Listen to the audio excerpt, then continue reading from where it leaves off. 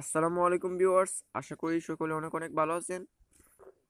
তো আজকের জিএসসি রেজাল্টের পাবলিশের ডেট কথা ছিল, তো আজকেই বারোটার সময় জিএসসি বা জেডিসি রেজাল্ট প্রকাশ হবে।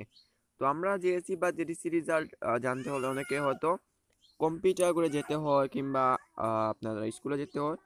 তো মোবাইল ফোনের মাধ্যমে কিন্তু সহজে একদম সিম্পল ওয়েতে জেএসসি কিংবা জেডিসি রেজাল্ট জানা যায়। তো এটা কীভাবে করবেন? এটা দুই তিন স্টেপে করা যায়। তো আমি আজকে দেখাবো।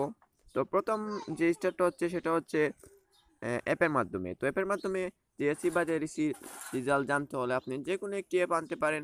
তো আমি রেজাল্ট মানে রিকমেন্ড করব আপনি প্রথম অ্যাপটি ব্যবহার করুন, কারণ এতে অনেকগুলা ইউজার রয়েছে। অথবা যে কোনো একটি ব্যবহার করতে পারেন।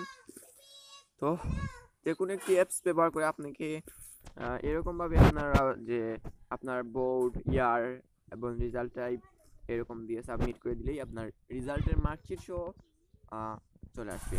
তো সেকেন্ড যে স্টেপটা রয়েছে সেটা হচ্ছে ওয়েবসাইটের মাধ্যমে।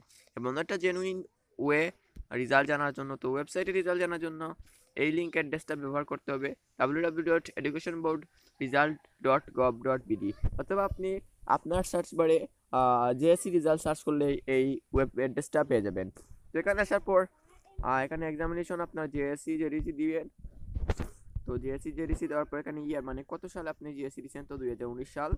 এবার আপনাকে রুল দিবে রুল দিবেন এবং বোর্ড দিবেন। তো আপনি যে বোর্ডে পরীক্ষা দিতেছেন এবং রেজিস্ট্রেশন নাম্বার তো এগুলো দেওয়ার পর আপনাকে এখানে একটা যেটাকে বলে, তো একটা অঙ্ক দেখাবে। আট আর নয় এটা হচ্ছে ভেরিফিকেশনের জন্য একটা ব্যবহার করা হয়। সো আমি আট আর নয়, এটা সতেরো। তো এরপর আপনাকে সাবমিট করে দিবেন। তো সাবমিট করার পর আপনার এখন তো রেজাল্টটা প্রকাশিত হয়নি। সাবমিট করার সাথে সাথে আপনার মার্কশিট সহ আপনার রেজাল্ট চলে আসবে। তো এর এর থেকে এর একটা ব্যবহার হয়। তো অনেক সময় সার্ভারের প্রবলেম হয়, আপনারা অ্যাপের মাধ্যমে জানলে ভালো হয়, কারণ ওয়েবসাইটে অতিরিক্ত সার্ভারের প্রবলেম দেখা দেয়। তো অ্যাপের মাধ্যমে দেখলে আপনার এই সার্ভার প্রবলেমটা সমস্যা দেখা দিবে না। আর আশা করি সকল জেএসসি বা জেডিসি শিক্ষার্থীদের রেজাল্ট ভালো হবে বাংলাদেশের রেজাল্টের সংখ্যা বৃদ্ধি পাবে। তো ভিউয়ার্স এই ছিল আজকে ভিডিওটি। ভিডিওটি ভালো লাগলে আপনাদের বন্ধুদের সাথে শেয়ার করবেন। আর অবশ্যই আমার চ্যানেলটিতে যদি প্রথমবার ভিজিট করেন, তাহলে চ্যানেলটিকে সাবস্ক্রাইব করে নেবেন।